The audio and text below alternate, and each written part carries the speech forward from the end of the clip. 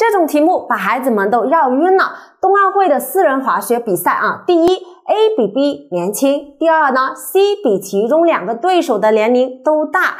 第三，A 比 D 年龄大；第四就是 B 比 C 呀年龄大。请问谁的年龄最大，谁的年龄最小呢？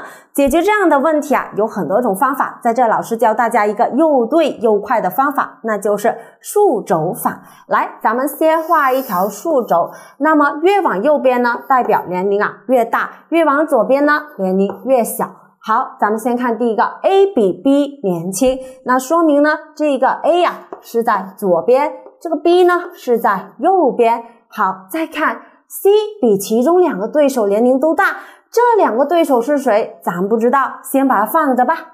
第三就是 A 比 D 要年年龄大，说明了 D 在哪呀？哎，D 在 A 的左边。好，再看第四个，B 比 C 年龄大。那说明呢，C 是要在 B 的左边。那左边到底哪个位置呢？是这里、这里还是这里呢？哎，咱们就要看回第二个条件了。他说呀，C 是比其中两个对手年龄大。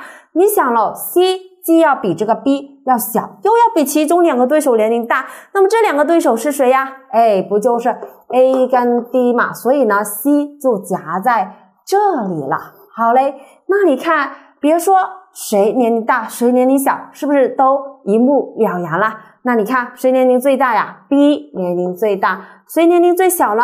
都年龄最小。好，你学会了吗？